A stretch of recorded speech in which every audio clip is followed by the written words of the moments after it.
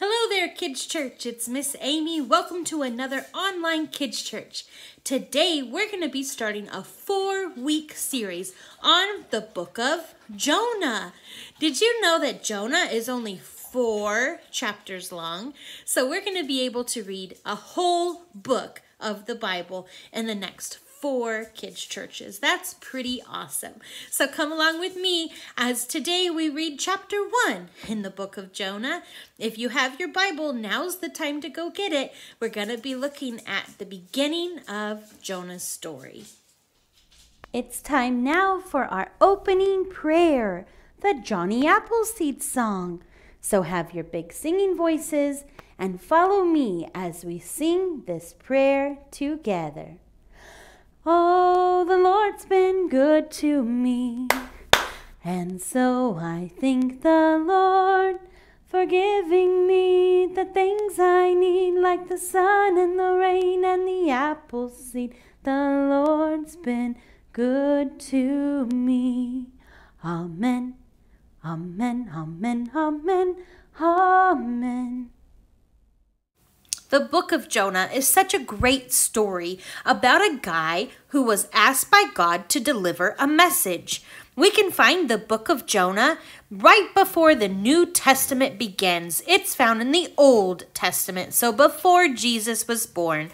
You can see in this chart, Jonah is in the lime green middle section called minor prophets. And we can be reminded that a prophet is someone who has a message from God or a teaching from God. And so we know since Jonah is found in the minor prophet section that Jonah is a prophet or a messenger from God. And Jonah has something that God has asked him to share. So let's see what God has asked of this prophet, Jonah. Who wrote this book? Well, the prophet Jonah himself was probably the author of his own story. Why was this book written? Jonah shows Israel that God does not punish people who repent and are sorry for their sins. Remember, sin is something that separates us from God or something that we shouldn't be doing. And repent is asking forgiveness of for those things that we shouldn't have done. What do we learn about God in this book? God forgives his disobedient prophet and gives Jonah a second chance. God also forgives the people of a certain city. God does not punish people who repent. Remember, repent means to ask forgiveness. What is special about this book? God shows love for the foreign people in a certain city as well as his own Hebrew people. When was this book written? The book of Jonah was written about 760 BC.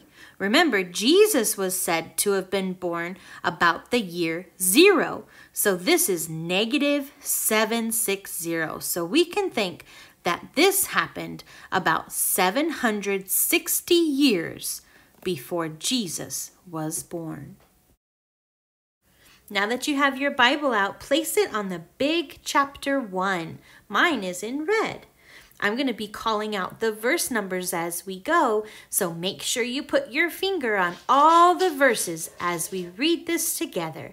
Here is the word of the Lord. Jonah runs away from the Lord. Here we go. Big chapter 1, verse 1. Put your finger there. A message from the Lord came to Jonah he was the son of Amittai. The Lord said, Go to the great city of Nineveh, preach against it. The sins of its people have come to my attention. We're at verse 3. Put your finger on 3. But Jonah ran away from the Lord.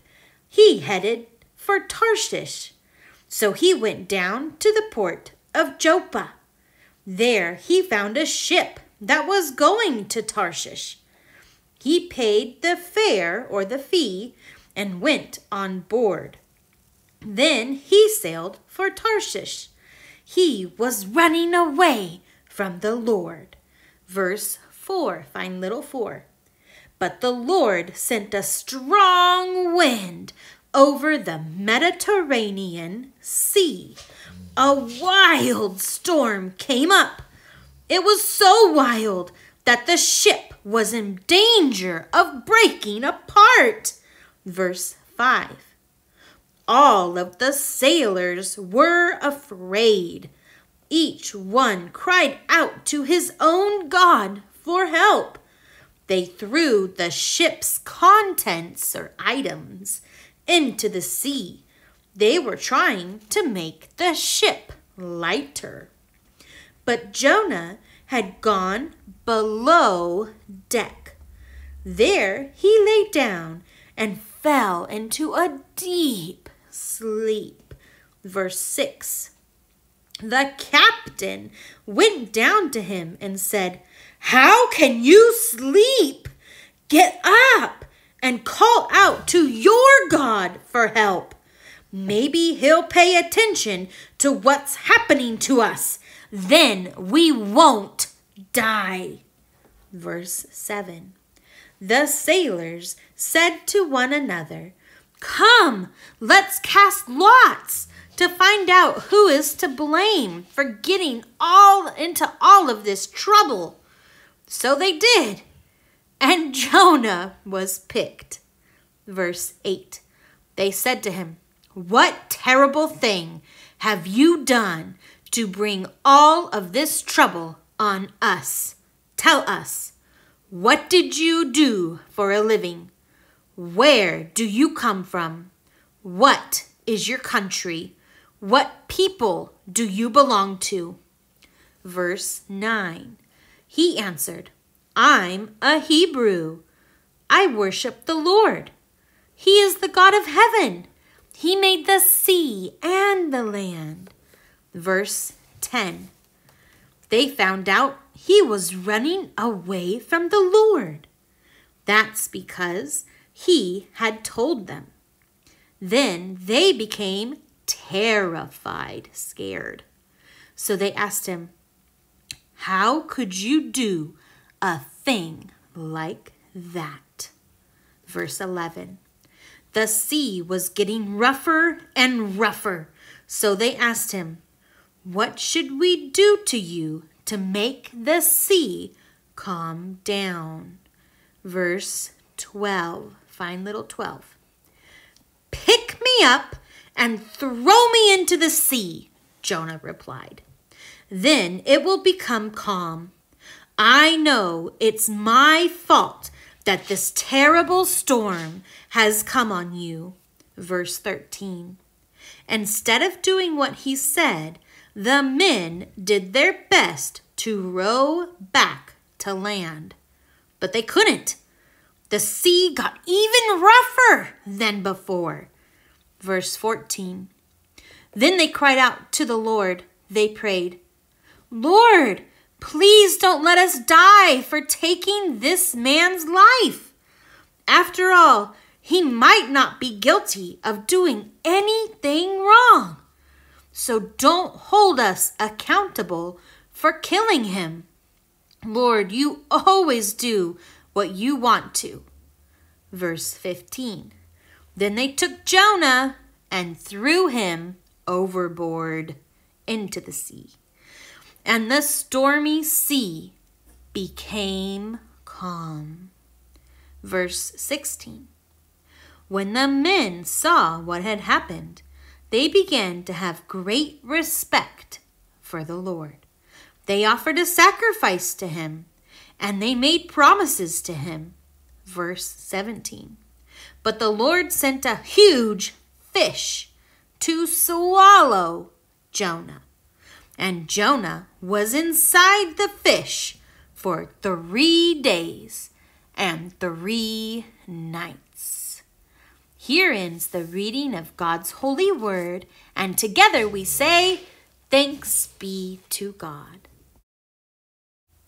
There is a lot going on in today's story of chapter 1 in Jonah. And we see here that God sent a whale to keep Jonah safe once the sailors threw him overboard into the stormy waters. And that's why Jonah is usually referred to as the water story, or there's usually a big giant whale when talking about the story of Jonah, because it was the whale that kept Jonah safe. Do you remember for how long? Chapter 1, verse 17 says, Jonah was inside the fish for three days and three nights. That is a really long time if you think about it, to be inside of a whale. It's time now to look at our SOAP method of studying scripture. S O A P. S is the scripture, and that's Jonah chapter 1. O is the observation. What happened in the scripture? Try your best to retell the story as briefly as you can, as short as you can. And this is so hard for me because Jonah chapter 1 is full of so much stuff. So let's see if I could do it briefly. Jonah chapter 1 is about Jonah who decided to run away from God on a ship. But God sent a storm, and Jonah decided to have the sailors ditch him overboard to stop the storm. And instead of drowning in the water, God sent a whale for Jonah to live. Now, the A, the application. How do I apply this story to my life? What does this story mean to my own life? And that can be different from my ideas to your ideas. But for me, Jonah chapter 1 tells me that I should never run away from God. God will always find me. P, the prayer. This can also be something that you decide to say on your own regarded to the scripture observation and application. But for now, we could say something like this Dear God, each time I feel away from you, I know that that's not true, that you are always near to me. Amen.